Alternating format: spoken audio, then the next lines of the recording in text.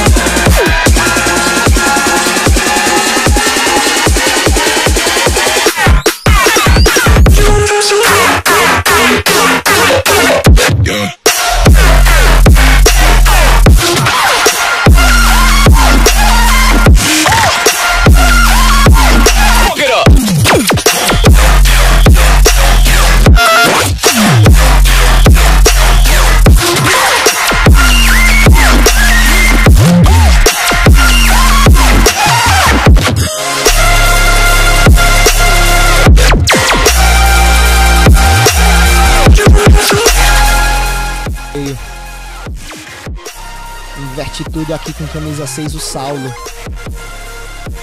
Saulo, tá com a bola, levanta a cabeça. Tem a opção passando, preferiu na jogada individual. Jogou na frente, David! De-